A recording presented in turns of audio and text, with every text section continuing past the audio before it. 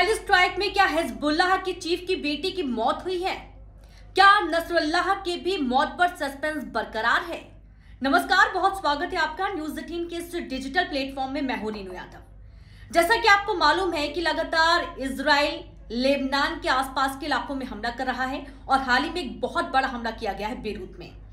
हाल ही में एक महत्वपूर्ण बैठक हुई। यूएन की इस बैठक में जैसे ही प्रधानमंत्री बेंजामिन नेतन्याहू ने अपनी स्पीच पूरी की, उसके ठीक एक से डेढ़ घंटे के अंदर बेरूत में जोरदार, लगातार धमाके हुए मिसाइल हमले हुए हैं।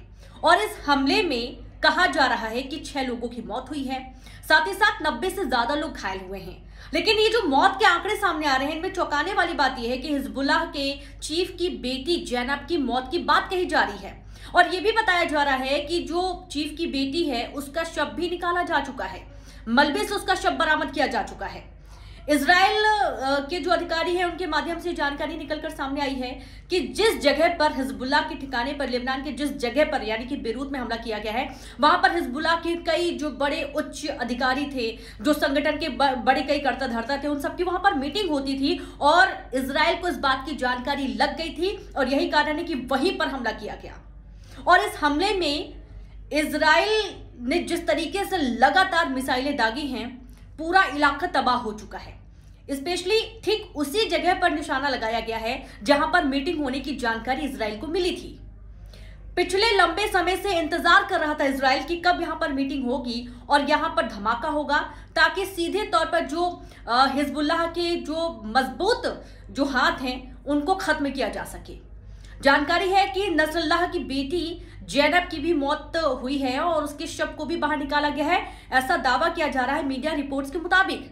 तो वही दूसरी तरफ़, नसरल्लाह से भी संपर्क नहीं हो पाना एक बहुत बड़ा सस्पेंस बना हुआ है, क्योंकि काफ़ी वक्त हो चुका है और अभी तक हिजबुल्ला के जो उच्च अधिकारी हैं, जो संगठन के अन्य लोग हैं, वो अभी तक नसरल्लाह से संपर्क नहीं कर पा रहे हैं और यही कारण है कि अब थोड़ा सा दहशत का माहौल हिजबुल्लाह के संगठन में मचा हुआ है कि आखिरकार अगर चीफ की बेटी की मौत हो जाती है, नसरल्लाह की मौत हो जाती है तो उसके बाद से कहीं ना कहीं ये जो संगठन है, ये कमज़ोर पड़ जाएगा।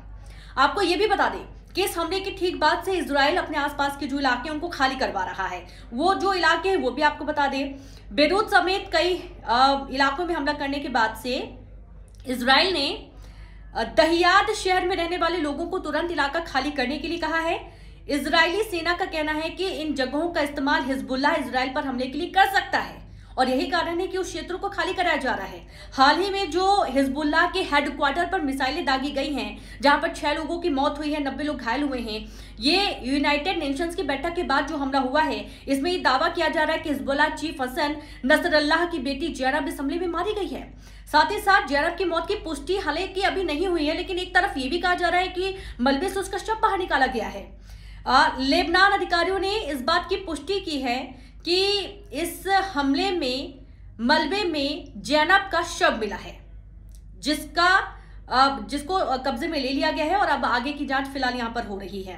तो वहीं हिजबुल्ला चीफ के ज़िंदा बचने पर लगातार सस्पेंस है यानी कि नसरल्लाह का अभी तक कोई खोज खबर नहीं हो पाई उनसे कोई संपर्क नहीं हो, हो पा रहा है और इसकी वजह से अब संगठन में काफ़ी हलचल मची हुई है। हिजबुल्लाह चीफ नसरल्लाह से संपर्क नहीं हो पाना एक बड़ी शिकश माथे पर ला रहा है।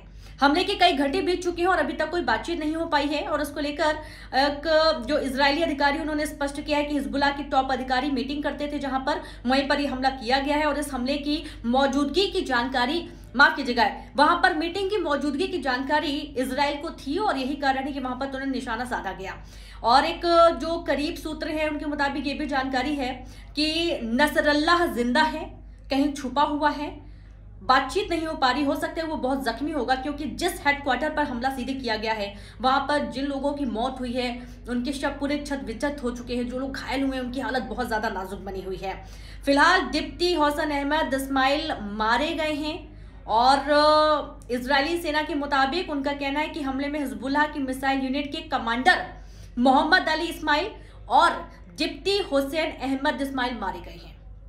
दो लोग मारे गए हैं इसकी पुष्टि इसराइल के अधिकारी कर रहे हैं। तो वही दूसरी तरफ़ क्या जैनब मारी गई है? मलबे से शब्द ज़रूर मिला ये कहा जा रहा है। और दूसरी तरफ़ नसरल्लाह कहाँ पर है? उसको लेकर भी लगातार अब खोजबीन हो रही है क्योंकि जो हिजबुल्लाह संगठन है वो खुद लगातार संपर्क करने की कोशिश कर लेकिन अभी तक संपर्क हो नहीं पाया है।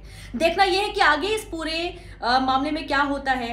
हालाँकि अभी तुरंत ही बैठक भी एक बुला ली गई है और इस बैठक के दौरान ईरान के सुप्रीम लीडर ने इमरजेंसी बैठक बुलाई है और उस बैठक के दौरान क्या कुछ निकल कर आता है, ये भी लगातार आपको बताते रहेंगे। फ़िलहाल इसराइल का लगातार हमला काफ़ी चौंकाता है, क्योंकि इसराइल ने पहले ही साफ़ कर दिया है कि अगर ज़रूरत पड़ेगी तो आक्रामक और ज़्यादा हो सकते हैं। यानी कि अभी ये जो युद्ध है, ये रुकने का नाम ही नहीं ले रहा है।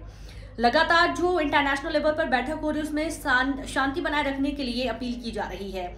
और अगर शांति नहीं बनाई जाती है किसी देश की तरफ़ से तो उसमें कुछ सख्त कदम उठाए जाने की बात भी कही जा रही है। लेकिन फ़िलहाल, अभी तक तो कोई ऐसा देखने को नहीं मिल रहा है। लगातार हमले जारी हैं दोनों ही तरफ़ से।